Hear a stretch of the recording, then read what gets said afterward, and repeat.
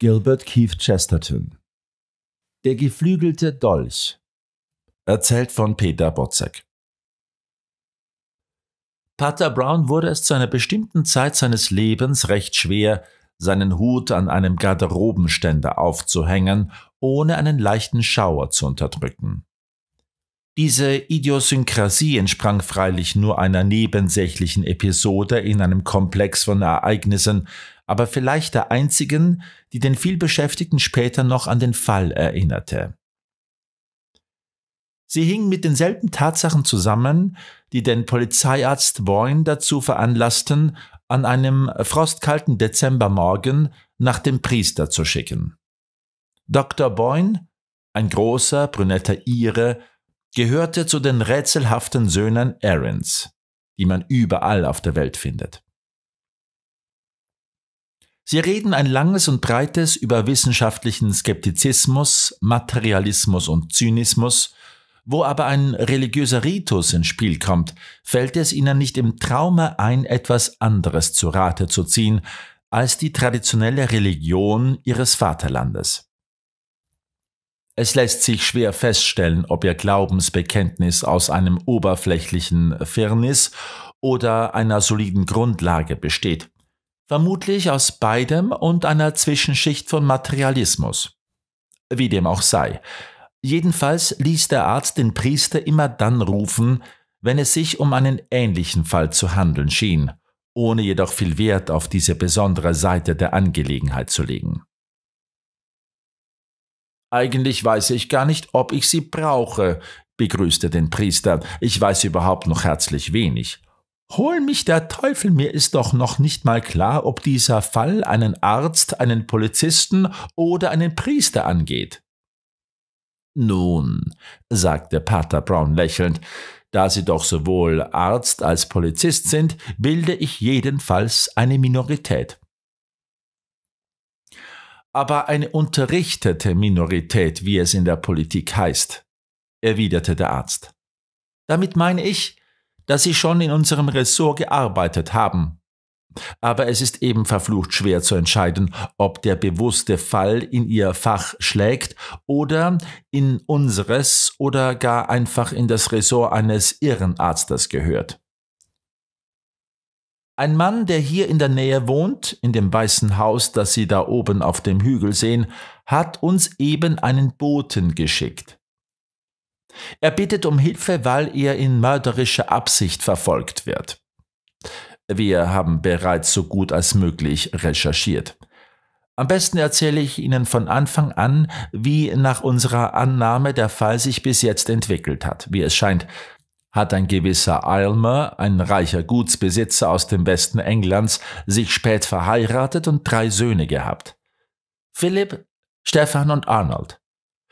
Als er aber noch Junggeselle war und nicht auf einen Erben hoffte, hatte er einen sehr begabten und vielversprechenden Jungen namens John Strake adoptiert. Die Abstammung des Jungen ist dunkel. Er gilt für ein Findelkind, andere behaupten sogar, er sei Zigeuner. Wahrscheinlich hängt diese zweite Vermutung mit dem Umstand zusammen, dass der alte Almer sich als Greis mit allen möglichen trüben, okkultistischen Dingen befasst hat, wie Chiromantie und Astrologie. Seine drei Söhne behaupteten, dass Strake ihn darin bestärkte.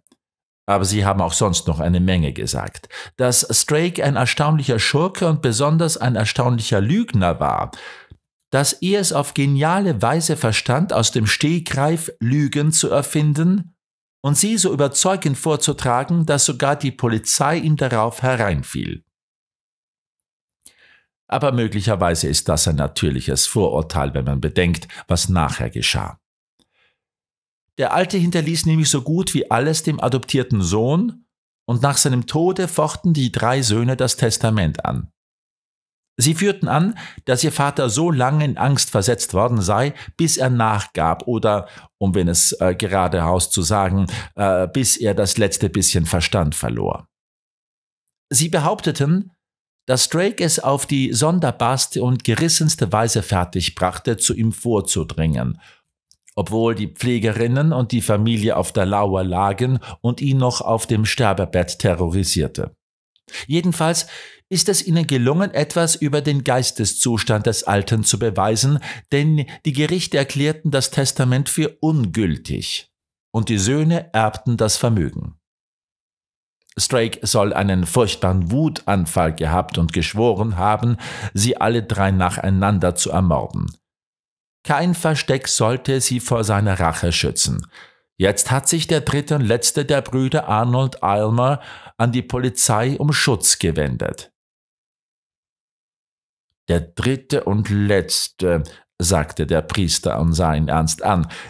Jawohl, erwiderte Boyne, die beiden anderen sind tot. Einen Augenblick lang herrschte Schweigen, dann fuhr er fort. Hier beginnt die Sache unklar zu werden. Beweise, dass sie ermordet wurden, liegen nicht vor. Aber es ist nicht ausgeschlossen. Der Älteste, der sich als Grundbesitzer aufs Land zurückzog, soll in seinem Garten Selbstmord begangen haben. Der zweite, der sich als Fabrikant etablierte, wurde in seiner Fabrik von einer Maschine tödlich verletzt. Es ist möglich, dass er gestolpert und gefallen ist. Wenn Strake sie aber wirklich beide umgebracht hat, ist die Art und Weise, wie er es anstellt und sich dann aus dem Staube macht, wirklich außerordentlich geschickt. Andererseits ist es mehr als wahrscheinlich, dass die ganze Sache auf eine Verschwörungsmanie hinausläuft, die nur auf einen Zufall zurückgeht. Passen Sie mal auf, was ich möchte. Ich möchte, dass ein vernünftiger Mensch, aber kein Beamter hingeht, mit dem Arnold Almer redet und sich den Mann anguckt. Sie wissen ja, wie ein Mensch aussieht, der eine fixe Idee hat. Und wie sich einer benimmt, der die Wahrheit spricht. Bilden Sie die Vorhut, bevor wir die Sache in die Hand nehmen. Schön, sagte Pater Brown einfach. Wenn Sie wollen, besuche ich ihn gleich jetzt. Das hügelige Land rings um die kleine Stadt war vom Frost in Fesseln geschlagen, der Himmel so blau und kalt wie Stahl. Nur im Nordosten begannen Wolken mit schwefligem Rand am Himmel hochzusteigen. Gegen diesen Hintergrund von dunklen und drohenden Farben erglänzte das Haus auf dem Hügel mit einer Reihe von blassen Pfeilern, die nach klassischem Muster einen kurzen Säulengang bildeten. Eine Straße führte in Windungen über die Schwelle des Hügels und verschwand in einem dunklen Gebüsch. Kurz bevor er die Büsche erreichte, wurde die Luft kälter und kälter, als näherte der Priester sich einem Eiskeller oder dem Nordpol.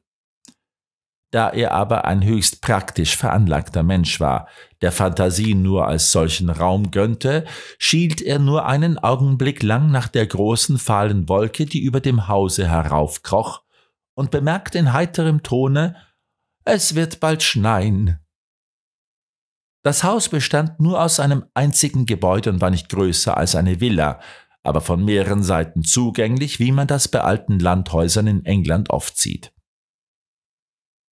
Er konnte sich nicht schlüssig werden, wo der eigentliche Eingang zu finden sei, und trat durch eine geöffnete Glastür in ein Zimmer, das zentral gelegen und auf altmodische Weise mit Polstermöbeln ausgestattet war. Auf einer Seite führte eine Treppe nach oben, auf der anderen lag eine zweite Tür und gerade gegenüber eine dritte, in die eine rote Butzenscheibe von fragwürdigem Geschmack eingelassen war. Auf einem runden Tischchen zur Rechten sah er eine Art Aquarium, ein großes Glasgefäß mit grünlichem Wasser, in dem Fische und ähnliche Geschöpfe sich wie in einer Zisterne bewegten. Gerade gegenüber stand eine Pflanze von der Gattung Palme mit sehr großen grünen Blättern. All dies sah staubig und sehr nach der Mitte des vorigen Jahrhunderts aus. Und das Telefon, das hinter der Draperie des Alkofens sichtbar wurde, wirkte beinahe überraschend. Wer ist das? rief eine scharfe und misstrauische Stimme hinter der Glastüre. Kann ich Herrn Eilmer sprechen? erwiderte der Priester in begütigendem Ton. Die Tür ging auf, und ein Herr mit einem pfauenblauen Schlafrock trat mit fragendem Ausdruck herein. Sein Haar war struppig und etwas unordentlich, als sei er eben erst aufgestanden oder gewohnt, sich sehr langsam anzuziehen, aber seine Augen blickten nicht nur wach, sondern gespannt, vielleicht sogar erschreckt. Pater Brown konnte sich vorstellen, dass dieser Widerspruch nichts Unnatürliches hatte bei einem Menschen, der unter der Wolke einer Einbildung oder einer Gefahr seelisch gelitten hatte. Der Mann hatte ein schönes Adlerprofil, aber von vorn gesehen herrschte der unordentliche, ja wilde Eindruck vor, den sein ungepflegter brauner Bart hervorrief. Ich bin Alma, sagte er, aber ich bin nicht mehr daran gewöhnt, Gäste zu erwarten. Irgendein Ausdruck in den unruhigen Augen des Herrn Alma bewog den Priester, sofort zur Sache zu kommen. Wenn der Mann wirklich nur an Verfolgungswahn litt, würde er es wohl umso weniger übel nehmen. Ist das auch sicher richtig, sagte er leise, dass Sie keine Gäste erwarten? Sie haben recht, erwiderte der andere. Ich erwarte stets einen Gast, und es kann sein, dass er der letzte ist. Das will ich nicht hoffen, sagte Pater Brown. Jedenfalls aber beruhigt mich die Annahme, dass ich ihm nicht sehr ähnlich sehe.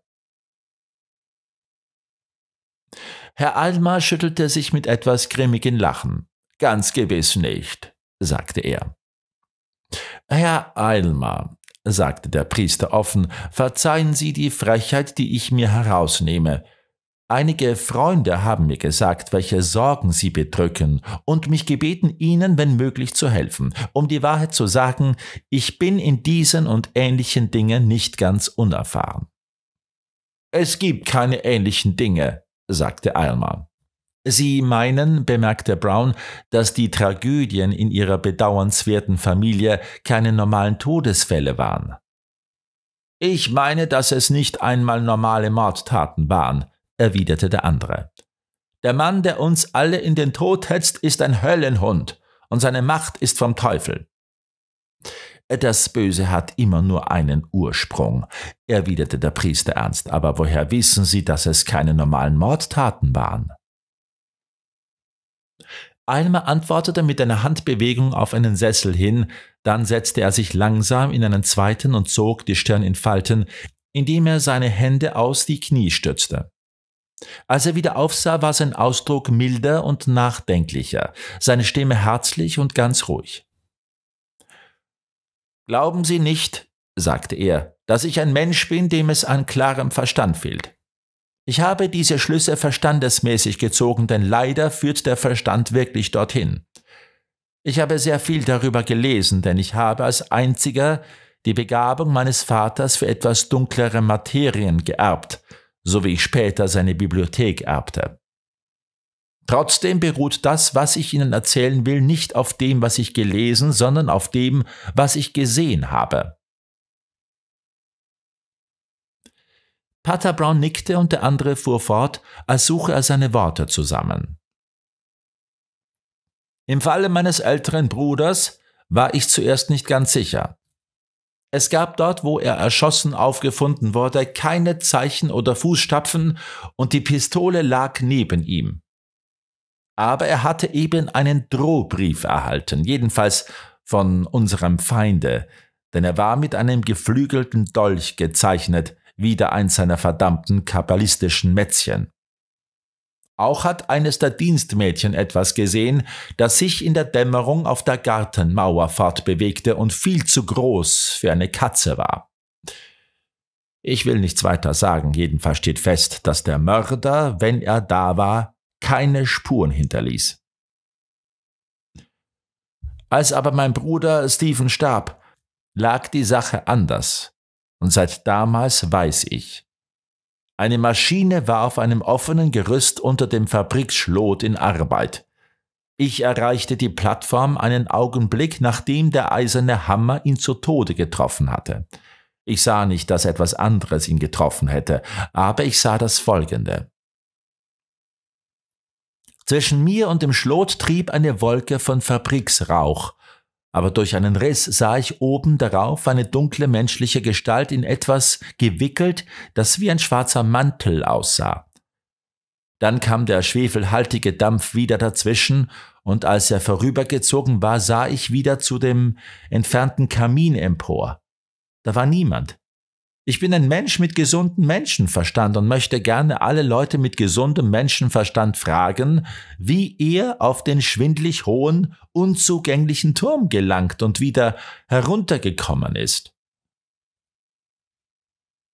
Er starrte den Priester mit rätselhaft herausforderndem Blick an und sagte nach einer Pause unvermittelt Meinem Bruder war der Kopf zerschmettert worden, aber sein Körper hatte nicht sehr gelitten. In einer Tasche fanden wir wieder eine warnende Botschaft, die vom Tag vorher datiert und mit dem fliegenden Dolch gestempelt war. Haben Sie vielleicht bemerkt, auf was für Papier sie stand? fragte Pater Brown. War es gewöhnliches Papier? Das sphinxähnliche Gesicht ließ plötzlich ein heiseres Lachen ertönen. Sie können sich die Dinger mal selber ansehen, sagte Alma grimmig, denn ich habe heute Morgen auch eines bekommen. Er lag in den Sessel zurückgelehnt, seine langen Beine staken aus dem blauen Schlafrock, der ihm etwas zu kurz war. Sein bärtiges Kinn ruhte auf der Brust. Ohne weitere Bewegung steckte er die Hand tief in die Tasche des Schlafrocks und hielt mit starr ausgestrecktem Arm dem Priester einen Fetzen Papier hin. Seine ganze Haltung drückte ähnlich wie bei Paralyse Starrheit und Zusammenbruch zugleich aus. Doch schon die nächste Bemerkung Pater Browns übte eine merkwürdige, belebende Wirkung auf ihn aus. Pater Brown blinzelte auf seine kurzsichtige Art nach dem Zettel, den der andere ihm zeigte. Es war ein merkwürdiges Papier, rau, aber nicht billig, wie aus dem Skizzenbuch eines Künstlers.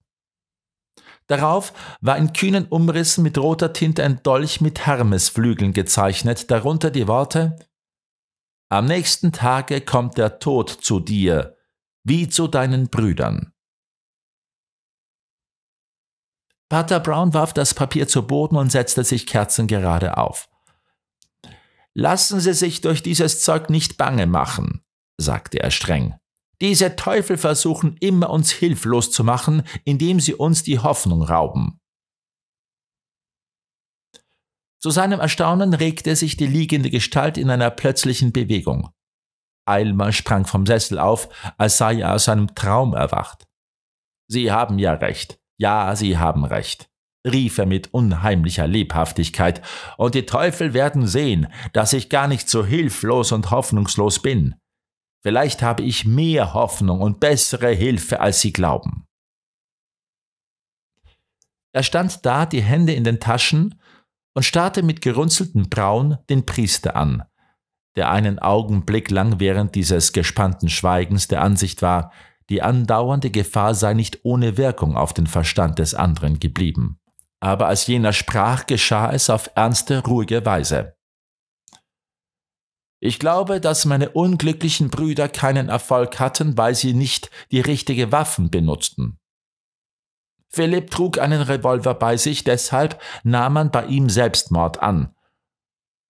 Stefan stand unter polizeilichem Schutz, aber er hatte einen feinen Sinn für das Lächerliche und konnte sich nicht von einem Polizisten auf ein Gerüst begleiten lassen, wo er sich nur einen Augenblick aufhielt. Sie waren beide Spötter und verfielen nach dem sonderbaren Mystizismus, der während seiner letzten Tage um meinen Vater herrschte, in eine skeptische Reaktion. Ich aber wusste immer, dass sie vieles an meinem Vater gar nicht begreifen konnten. Es ist wahr, dass er durch das Studium der Zauberei zuletzt unter den Bann der schwarzen Magie geriet, unter die schwarze Magie dieses Schurken Strake. Aber meine Brüder irrten sich, was das Gegengift angeht. Das Gegengift zur schwarzen Magie ist nicht krasser Materialismus oder weltliche Klugheit. Das Gegengift zur schwarzen Magie ist weiße Magie. Dabei kommt es doch wohl darauf an, was Sie unter weißer Magie verstehen, sagte Pater Brown. Ich meine silberne Magie, antwortete andere mit leiser Stimme, als spräche er von einer geheimen Offenbarung. Nach einer Pause fügte er hinzu Wissen Sie, was ich unter silberner Magie verstehe? Kommen Sie einen Augenblick mit. Er wandte sich um, öffnete die mittlere Tür mit dem roten Glasfenster und ging hinaus.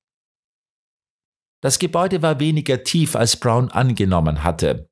Die Tür führte nicht zu Zimmern im Inneren des Hauses, sondern auf einen Korridor, an dessen anderem Ende eine Tür sich in den Garten öffnete. An einer Seite des Ganges lag noch eine Tür, zweifellos zum Schlafzimmer des Besitzers, aus dem er in seinem Schlafrock hervorgestürzt war. Auf dieser Seite befand sich nichts weiter als ein gewöhnlicher Kleiderständer mit dem gewöhnlichen Durcheinander von staubigen Überziehern und Hüten, aber auf der anderen gab es Interessantes zu sehen, nämlich ein sehr dunkles altes Eichenbuffet, auf dem altes Silber stand, und über dem ein Ornament oder eine Trophäe von alten Waffen aufgehängt war. Dort blieb Arnold Almer stehen und blickte zu einer langen altmodischen Pistole mit glockenförmiger Öffnung empor. Die Tür am anderen Ende des Korridors war nur angelehnt. Durch die Ritze schien ein Streifen weißes Tageslicht. Der Priester hat in Bezug auf Naturerscheinungen einen schnellen Instinkt. Die unnatürliche Weise dieser schmalen Linie führte ihn darauf, was draußen geschehen war, eben das, was er prophezeit hatte, als er sich dem Hause näherte. Er lief an dem erschreckten Almer vorüber und öffnete die Tür. Was er sah, war ein glänzendes Nichts.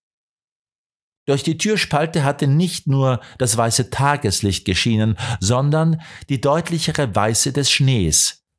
Ringsum war das hügelige Gelände mit der schimmernden Blässe bedeckt, die zugleich ehrwürdig und unschuldig aussieht.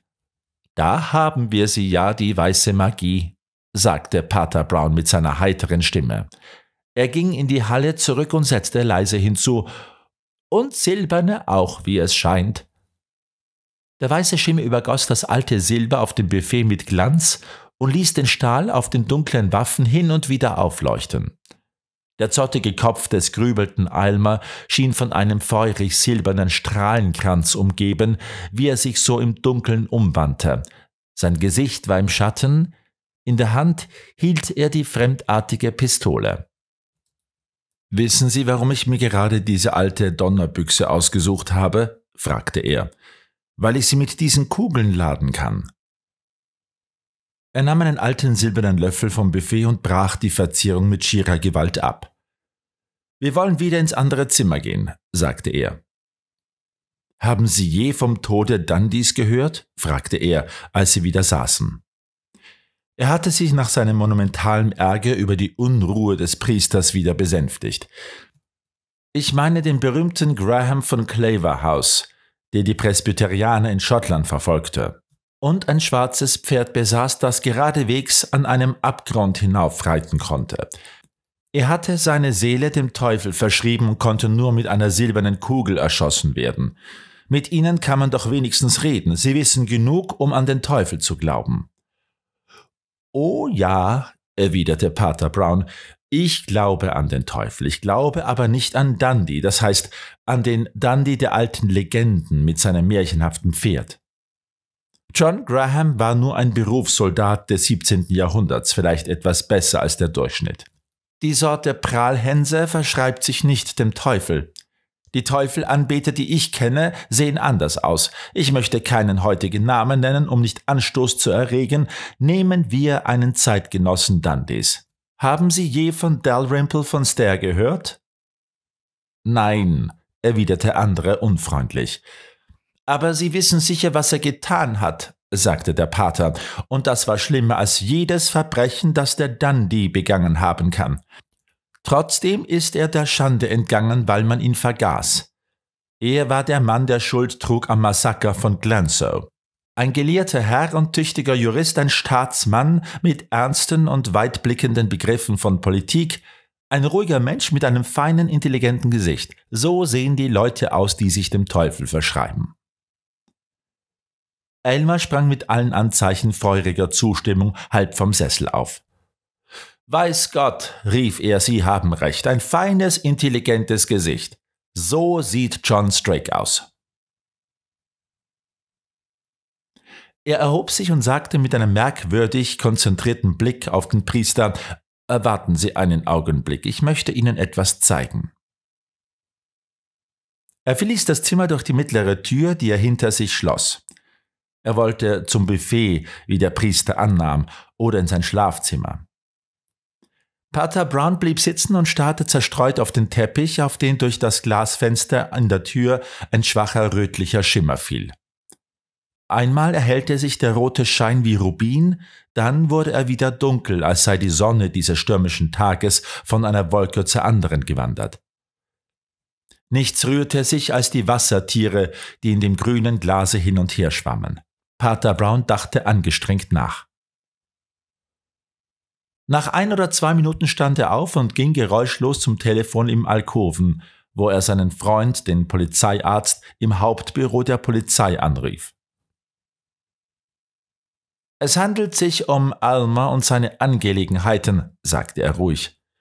Es ist eine sonderbare Geschichte, aber etwas steckt doch dahinter. An Ihrer Stelle würde ich sofort ein paar Leute heraufschicken, vielleicht vier oder fünf am besten, und das Haus umstellen lassen. Wenn wirklich etwas passiert, wird der Mörder eine sensationelle Flucht versuchen. Dann ging er an seinen Platz zurück und starrte wieder auf den roten Teppich, der nochmals im Lichte der Glasfenster blutrot aufleuchtete. In dem Licht, das durch das Fenster sickerte, war etwas, das seine Gedanken zu gewissen Grenzen des Denkens trieb, dem weißen Dämmern, bevor die Farben des Tages erstrahlen und den Mysterien, die in den Symbolen der Fenster und Türen abwechselnd erhellt und verdunkelt werden. Ein unmenschliches Geheul aus einer menschlichen Kehle ertönte hinter der geschlossenen Türe, fast gleichzeitig mit einem Schuss. Bevor der Widerhall erstorben war, wurde die Türe heftig aufgerissen. Alma wankte ins Zimmer. Sein Schlafrock war halb zerfetzt, die lange Pistole in seiner Hand rauchte noch. Er zitterte am ganzen Körper, aber nicht zum wenigsten vor unnatürlichem Gelächter. Gepriesen sei die weiße Magie, rief er. Gepriesen die silberne Kugel. Der Höllenhund hat einmal zu oft gejagt, meine Brüder sind endlich gerecht. Er sank in den Sessel, die Pistole fiel aus seiner Hand auf den Boden. Pater Brown lief an ihm vorüber durch die Glastür und ging den Gang hinunter.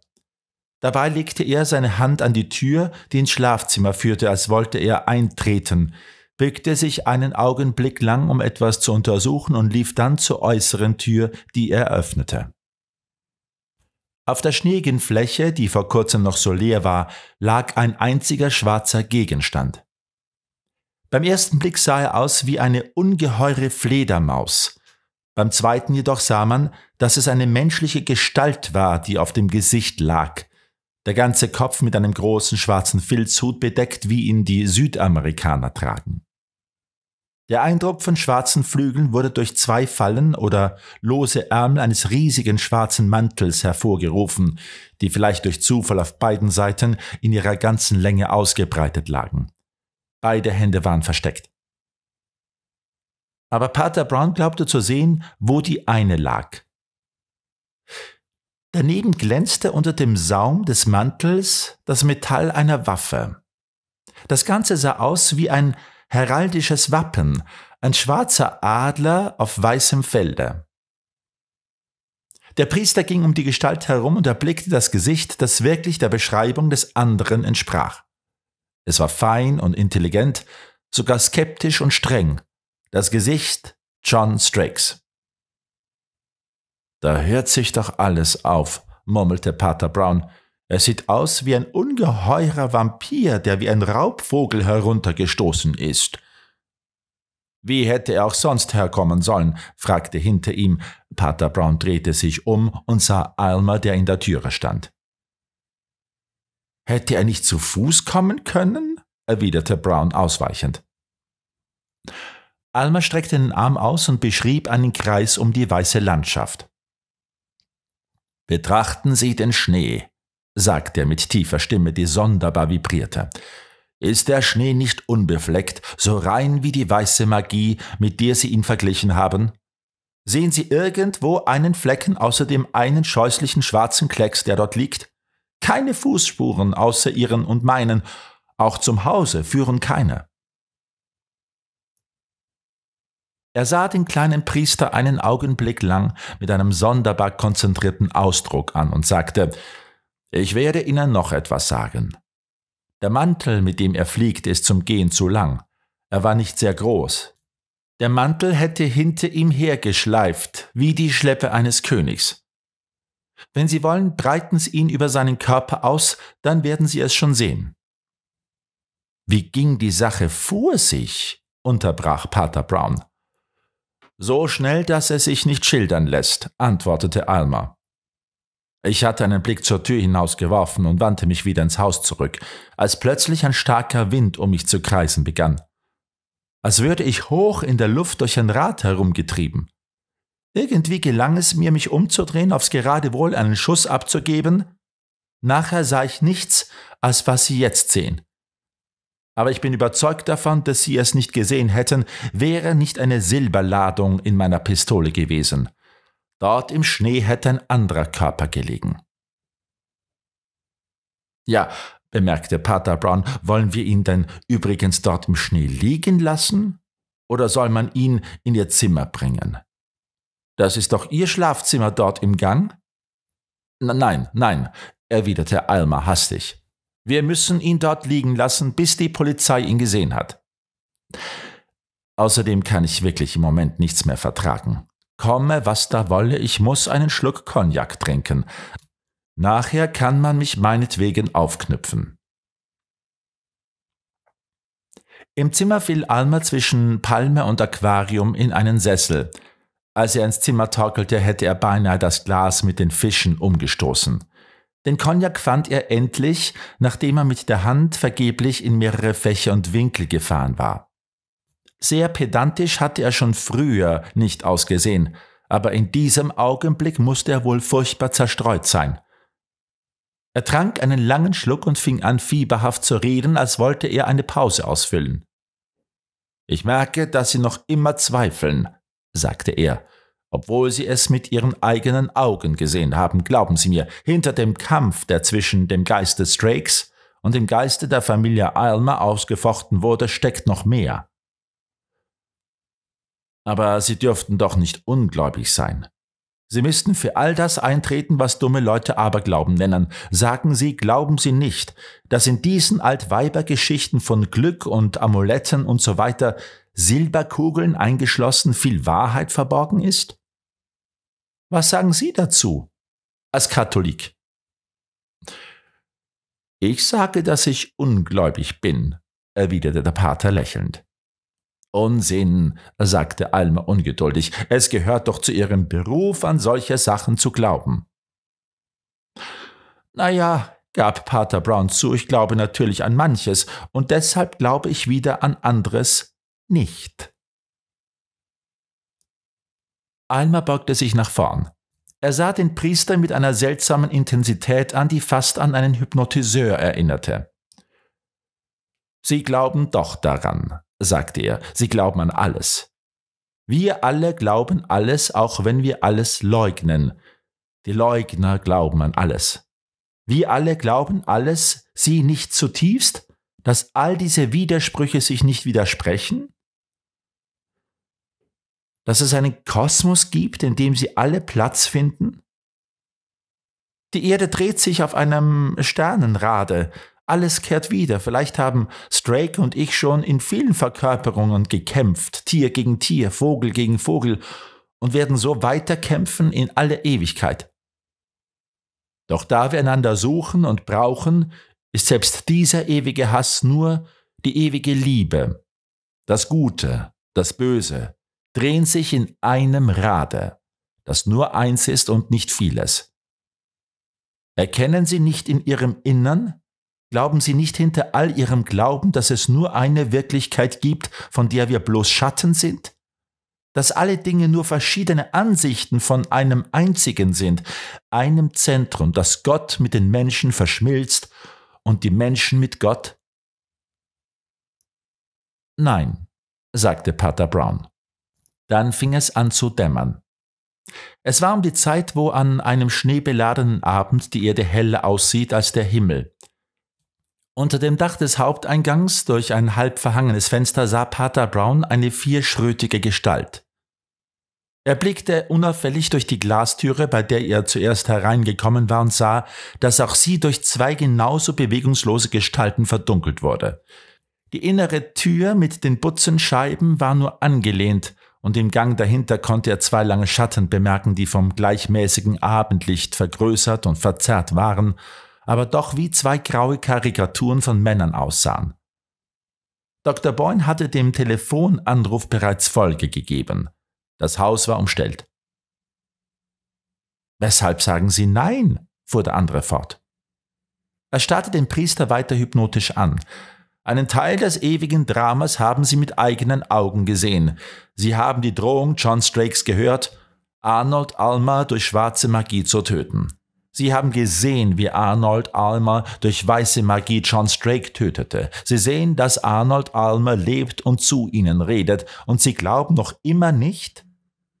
Nein, ich glaube nicht daran, sagte Pater Brown und stand auf wie jemand, der einen Besuch beendet. Warum nicht? Fragte der andere. Der Priester hob nur ein wenig die Stimme, aber sie klang bis in die letzte Ecke des Zimmers wie eine Glocke. Weil Sie nicht Arnold Almer sind, sagte er. Ich weiß, wer Sie sind.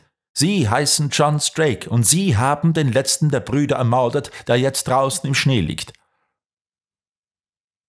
Um die Iris im Auge des anderen erschien ein weißer Streifen. Er schien mit hervortretenden Augäpfel einen letzten Versuch zu machen, den Priester zu hypnotisieren und zu besiegen. Dann machte er eine schnelle Bewegung zur Seite, aber im gleichen Augenblick öffnete sich die Tür hinter ihm und ein großgewachsener Polizist in Zivil legte ihm ruhig die Hand auf die Schulter. Die andere Hand hing herab, aber sie umschloss eine Pistole. Der Mann sah sich wild um. Polizisten in Zivil füllten alle Ecken des stillen Zimmers. Am gleichen Abend hatte Pater Brown mit Dr. Boyne eine zweite und längere Unterredung über die Tragödie im Hause Alma. Zu der Zeit standen die wichtigen Tatsachen des Falls bereits außer Zweifel, denn John Strake hatte sich zu seinem Namen bekannt, ja sogar zu seinen Verbrechen. Eigentlich wäre es richtiger zu sagen, dass er sich seiner Siege rühmte. Verglichen mit der Tatsache, dass er sein Lebenswerk abgeschlossen hatte und Arnold Alma eine Leiche war, war alles andere, sogar das Leben selbst, ihm scheinbar gleichgültig. Der Mann leidet an einer Monomanie, sagte Pater Brown. Ihn interessiert nichts anderes, nicht einmal ein anderer Mord. Dafür bin ich ihm eigentlich verpflichtet. Denn mit diesem Gedanken habe ich mich heute Nachmittag des Öfteren trösten müssen. Wie Sie sich jedenfalls selbst gesagt haben, hätte er, anstatt die wilde, aber geistreiche Erzählung über geflügelte Vampire und Silberkugeln auszuspinnen, mir einfach mit einer gewöhnlichen Bleikugel den Gar ausmachen und gemütlich das Haus verlassen können. Ich versichere Sie, dass mir der Gedanke öfters gekommen ist. Ich verstehe noch nicht, warum er es nicht getan hat, bemerkte Boyne. Aber ich verstehe überhaupt noch nichts. Wie in aller Welt haben Sie es entdeckt und was haben Sie entdeckt? Ach, Sie hatten mir sehr wertvolle Auskünfte gegeben, erwiderte Brown bescheiden. Besonders die eine Auskunft, die wirklich wichtig war. Ich meine damit die Bemerkung, dass Drake ein sehr erfindungsreicher und fantasievoller Lügner war, der seine Lügen mit großer Geistesgegenwart vorzubringen pflegte. Heute Nachmittag hatte er diese Gabe bitter nötig, aber er hat auch nicht versagt. Sein einziger Fehler war vielleicht, dass er sich zu einer übernatürlichen Geschichte entschloss. Er dachte, ich würde alles glauben, weil ich ein Geistlicher bin. Viele Leute bilden sich solche Dinge ein. Aber ich kenne mich absolut nicht aus, sagte der Arzt. Fangen Sie doch bitte mit dem Anfang an. Der Anfang war ein Schlafrock, erwiderte Pater Brown einfach. Die einzige gute Verkleidung, die mir je untergekommen ist. Wenn man in einem Hause einen Mann im Schlafrock antrifft, nimmt man ganz automatisch an, dass er sich in seinem eigenen Haus befindet. Auch ich dachte das. Aber in Kürze passierten einige merkwürdige Dinge, als er die Pistole herunternahm, drückte er mit ausgestrecktem Arm den Hahn, wie man das zu machen pflegt, um sich von äh, zu vergewissern, dass eine fremde Waffe nicht geladen ist. Aber natürlich hätte er wissen müssen, ob die Pistolen in seinem eigenen Korridor geladen waren oder nicht. Dann gefiel mir auch nicht, wie er nach dem Cognac suchte und wie er beinahe das Aquarium umstieß. Wenn jemand einen so zerbrechlichen Gegenstand im Zimmer hat, gewöhnt er sich ganz mechanisch daran, nicht anzustoßen. Aber das konnte alles nur Einbildungen sein. Der erste wichtige Punkt war folgender. Er kam aus dem kleinen Korridor zwischen den zwei Türen, wo sich nur eine einzige Tür in ein anderes Zimmer befindet. Deshalb nahm ich an, dass es sein Schlafzimmer war, das er eben verlassen hatte. Ich probierte die Klinke. Die Tür war verschlossen. Das schien mir sehr sonderbar, und ich blickte durch Schlüsselloch. Es war ein völlig leeres Zimmer, das offenbar nicht gebraucht wurde. Kein Bett darin oder sonst was. Er war also nicht aus dem Zimmer gekommen, sondern von draußen. Und sobald ich das sah, da stieg, glaube ich, das ganze Bild vor mir auf. Der arme Arnold Almer schlief und lebte jedenfalls oben. Er kam im Schlafrock herunter und ging durch die rote Glastür. Am Ende des Korridors, schwarz gegen das Licht des Wintertages, sah er den Feind des Hauses stehen. Er sah einen großen Mann mit einem Bart, in einem breitkrempigen Hut und einem weiten, wehenden schwarzen Mantel. Viel mehr hat er auf dieser Erde nicht gesehen. Strake stürzte sich auf ihn, um ihn zu erdrosseln oder zu erstechen. Das werden wir bei der Leichenschau erfahren. Dann hörte es Drake, während er in dem engen Gange zwischen dem Kleiderständer und dem alten Buffet stand und triumphierend auf seinen letzten Feind herabsah, ein Geräusch, auf das er nicht vorbereitet war. Er hörte Schritte im Zimmer hinter der Glastür. Das war ich, der eben durch die andere Glastür vom Garten her das Zimmer betrat. Seine Verkleidung war ein Meisterstück an Geschwindigkeit. Er musste sich nicht nur umziehen, sondern eine mehr erfinden und aus dem Stegreif dazu. Er legte seinen schwarzen Mantel und Hut ab und zog den Schlafrock des Toten an. Dann machte er etwas ziemlich Grausiges. Jedenfalls berührt es meine Einbildungskraft noch grausiger als alles andere. Er hing die Leiche wie einen Überzieher an einen Kleiderhaken. Darüber drapierte er seinen eigenen langen Mantel, der noch ein Stück über die Füße reichte. Den Kopf bedeckte er völlig mit seinem großen schwarzen Hut. Es war die einzige Möglichkeit, die Leiche in dem kleinen Korridor mit der verschlossenen Türe zu verbergen. Aber es war außerordentlich geschickt. Ich bin selbst einmal an dem Kleiderständer vorbeigegangen, ohne zu ahnen, dass er noch etwas anderes war als ein Kleiderständer. Ich glaube, dass diese Ahnungslosigkeit mir auf ewig einen Schauder über den Rücken jagen wird. Dabei hätte er es belassen können aber es war jeden Augenblick möglich, dass ich die Leiche entdecke. Und an dem Orte, wo sie hing, machte sie sozusagen eine Erklärung nötig. Er ergriff den kühneren Ausweg, sie selbst zu entdecken und selbst zu erklären. Er vollendete den Wechsel und Austausch der Rollen, indem er die Leiche als Leiche Strakes auf den Schnee hinauswarf.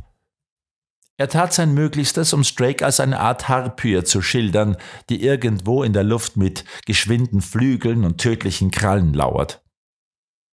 Er musste ja das Fehlen der Fußspuren und noch einiges andere erklären. Einen frechen Zug bewundere ich ganz außerordentlich. Er brachte es doch fertig, einen der Widersprüche in seiner Sache zu einem Beweis zu verkehren. Den Umstand, dass der Mantel zu lang war, erklärte er für einen Beweis, dass der Mann nie wie ein gewöhnlicher Sterblicher auf Erden gehen könne. Aber während er das sagte, sah er mich durchdringend an, und irgendeine innere Stimme warnte mich, dass er einen kolossalen Bluff versuchte. Dr. Boyne grübelte.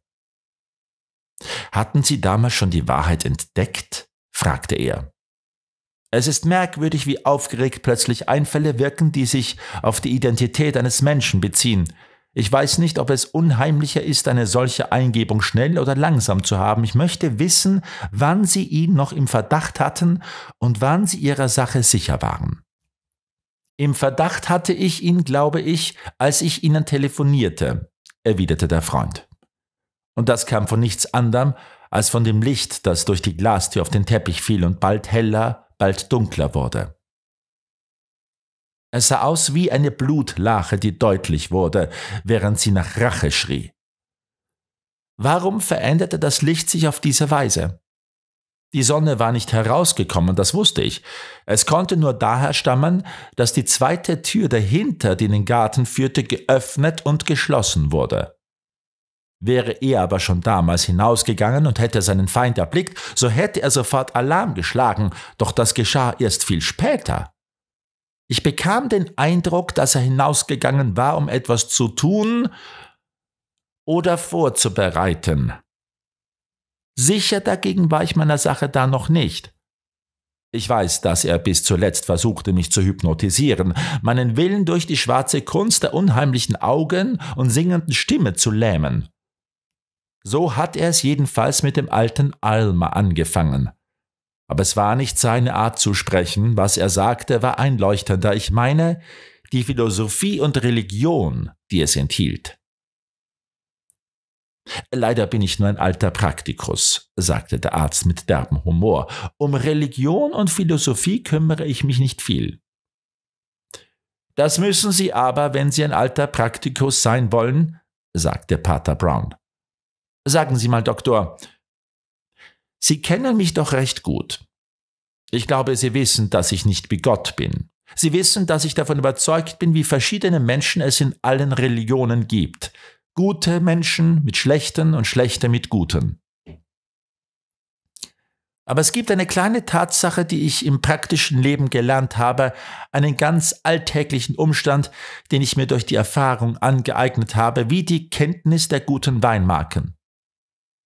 Ich habe noch nie einen Verbrecher getroffen, der, wenn er überhaupt philosophierte, nicht in dieser Richtung sprach von orientalischen Kulten wie Wiederkehr und Wiederverkörperung, dem Rat des Schicksals und der Schlange, die sich in den Schwanz beißt.